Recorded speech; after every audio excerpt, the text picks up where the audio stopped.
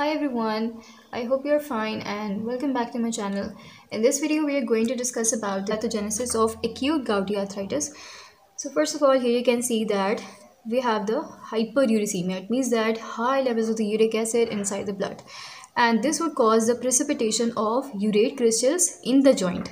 Alright, now these urate crystals are now phagocytosed by the macrophages and these macrophages when they are phagocytosing so the cytosolic sensors which are present in the macrophages, they are going to be activated, alright? And these cytosolic sensors are known as the inflammasomes. So the activation of inflammasome is there and now this would cause the release of the interleukin-1 which is a major pro-inflammatory cytokine, okay? Now this would in turn increase the secretion of the chemokines, cytokines from the various from the variety of the cells, okay? Now these chemokines and cytokines would stimulate the cartilage and the synovium to release the proteases and these proteases would cause the tissue injury and inflammation.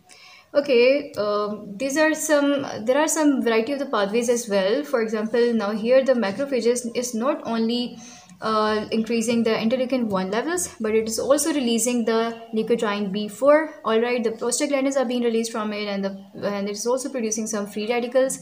And now these leukotrienes prostaglandins they are responsible for stimulating the neut uh, neutrophils. All right so it will cause the chemotaxis of the neutrophils and as well as there is also the activation of the complements from the precipitation of the urate crystals and this complement activation would also cause the chemotaxis of the neutrophils. All right now uh, once the neutrophils have reached the site of injury it means the, uh, the the site where the uric acids were deposited so this is going to phagocytose those crystals now when it would phagocytose those crystals, it would cause, these crystals would cause the lysis of these neutrophils. So it means when the neutrophils are going to be lysed by these crystals, so they are going to release the crystals back to their to that side, okay?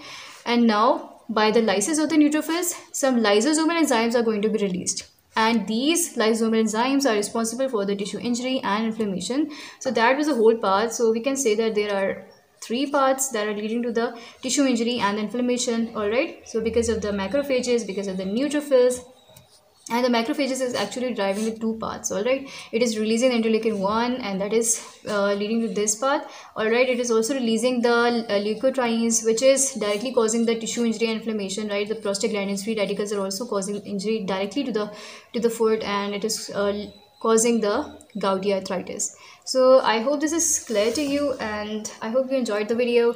Thanks for watching